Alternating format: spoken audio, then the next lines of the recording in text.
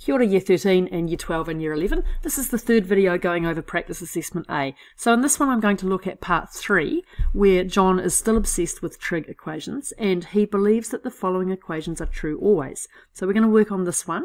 Um, it's probably worth doing videos 1 and 2 first because I think this one is slightly harder. And we have to prove if John is right or not. If he's not right we have to figure out whether there are any times where that equation is going to be true. We're going to do that first by finding the general solution, and then we're going to find particular or specific solutions for x in the domain from negative pi up to pi.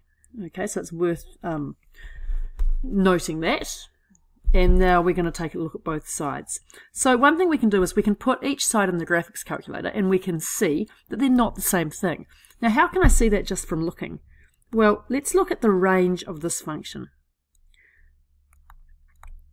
So the range here, and I'm going to isolate just this bit because I've got a plus 1 on both sides. So the range of this function goes from root 2 to negative root 2, right? Because the cosine curve looks like this. It goes from 1 to negative 1. So when I say it goes from, we have negative 1 is less than or equal to y is less than or equal to 1. Now when I scale it, um, the range is from negative root 2 to y to root 2. Let's take a look now at the right hand side and we can see just looking at this part because the plus ones are the same. So the range we've got now is different. Now how come? Well, I've got cos of 2x plus pi on 4 that has a range from negative 1 to 1. But if I square that and get cos squared of 2x plus pi on 4, the range is between 0 and y and 1. So I know that those two equations can't always be the same because there's nowhere in here that's going to give me negative values, whereas there are some values in here that are going of x that are going to give me negative values. So we know that it's not always true because um, we can see it from the graphical features and we can see that those two curves intersect if we sketch those two graphs. Right, so what can we say? Well, we can say that the equations are sometimes true. So what we want to do now is to solve them. So we've got root 2 cos of 2x plus pi on 4 plus 1 is equal to root 2 cos squared 2x plus pi on 4 plus 1. So the first thing I'm going to do is I'm going to subtract 1 from both sides,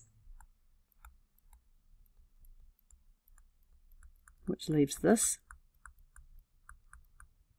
Right, so I'm doing this showing every little step so that the person reading it can see exactly what we've done. Now we've multiplied, we're going to multiply, sorry, divide both sides through by root 2.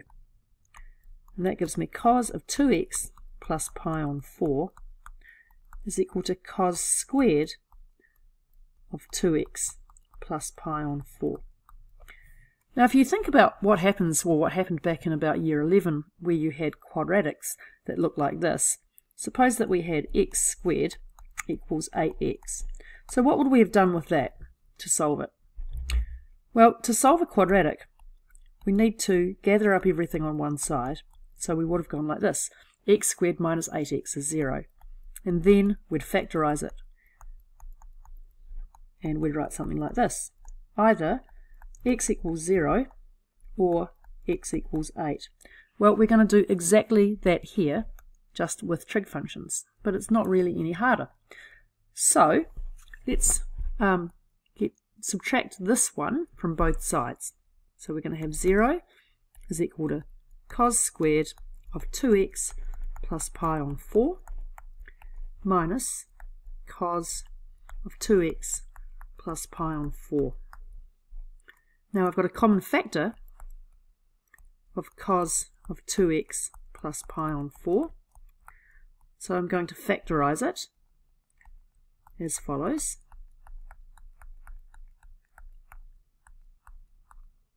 Alright, so I've got 0 equals something times something else. And if either of those somethings is 0, then I've got a solution to the equation. So we're now going to do general solutions on those two factors. So either cos 2x plus pi on 4 is equal to 0, or cos of 2x plus pi on 4 minus 1 equals 0. So working with this one, that gives me cos of 2x plus pi on 4 is equal to 1. Right, so let's work through our general solutions.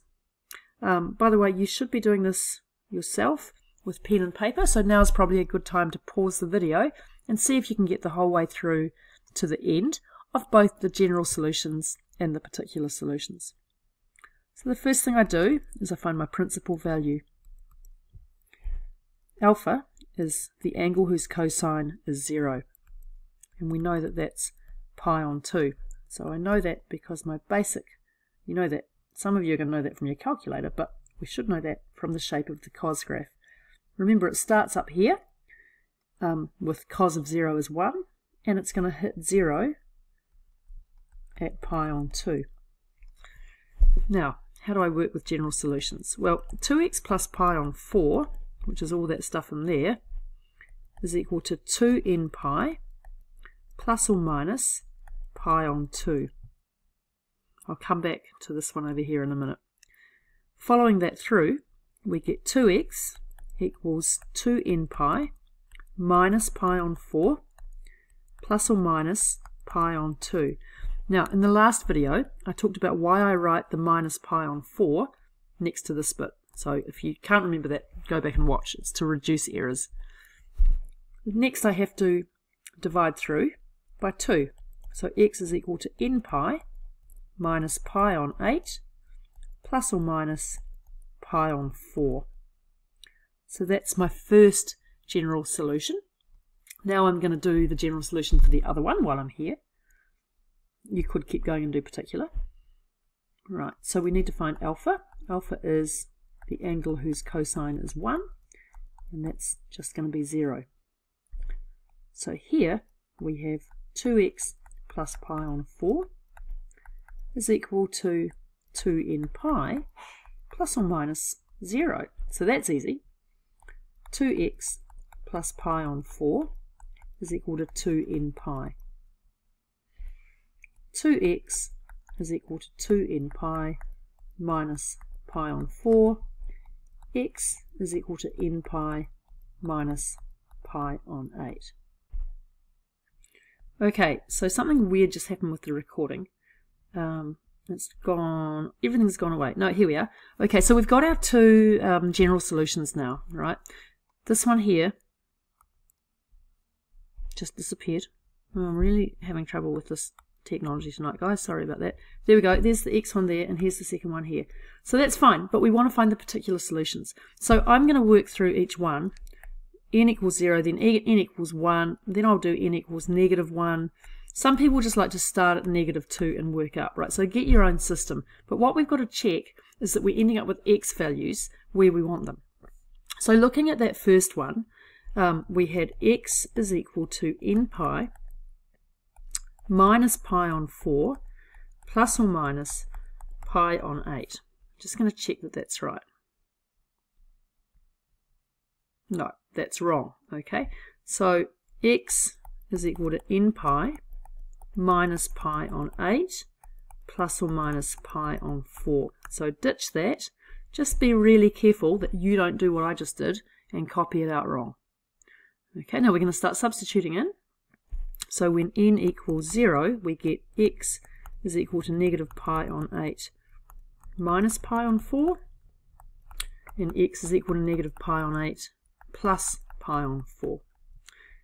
That gives me negative pi on 8 minus 2 pi on 8, which is negative 3 pi on 8. Um, over here, I get negative pi on 8 plus 2 pi on 8, which gives me pi on 8. So that's the first two. Now, are they both in the right domain? Are they between negative pi and pi? Yes, they are. So give them a tick so that you can check them off later. Right, let's work up now. let's do n equals 1.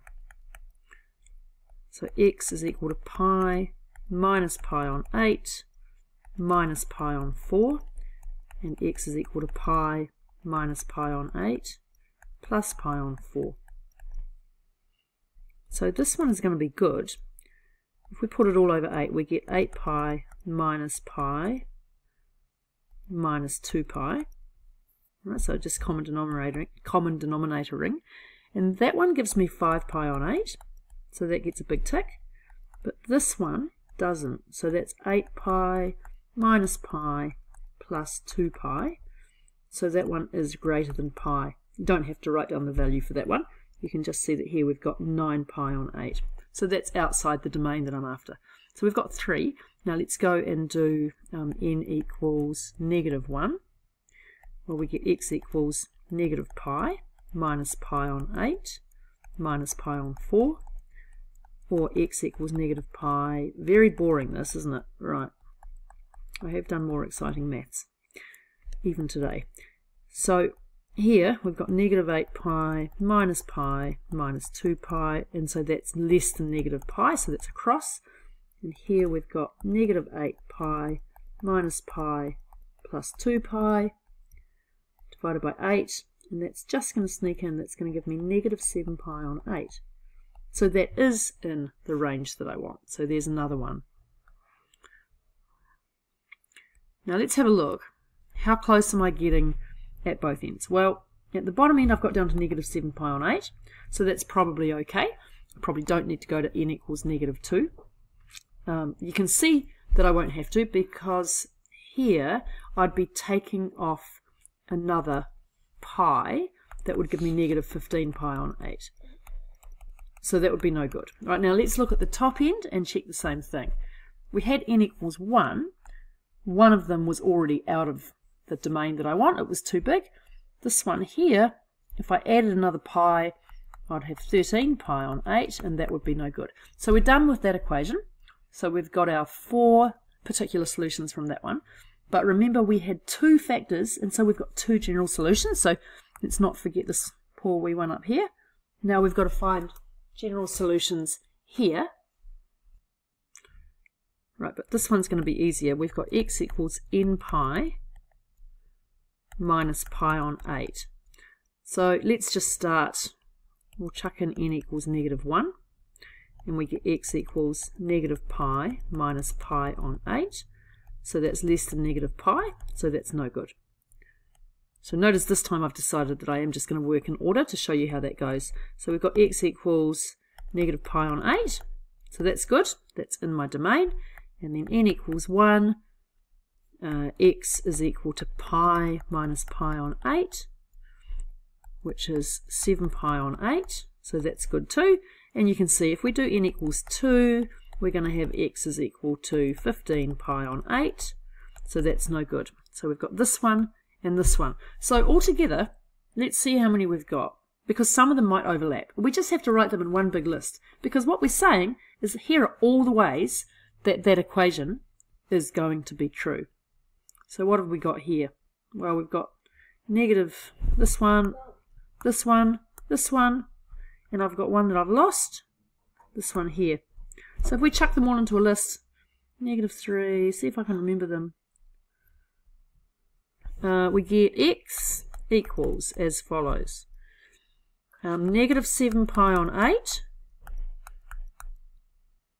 pi on 8, these are not in order, negative 3 pi on 8, 5 pi on 8, negative pi on 8, and 7 pi on 8. Now, that's kind of as they came out when we did it, but I don't really like that, so I really have to put those in order to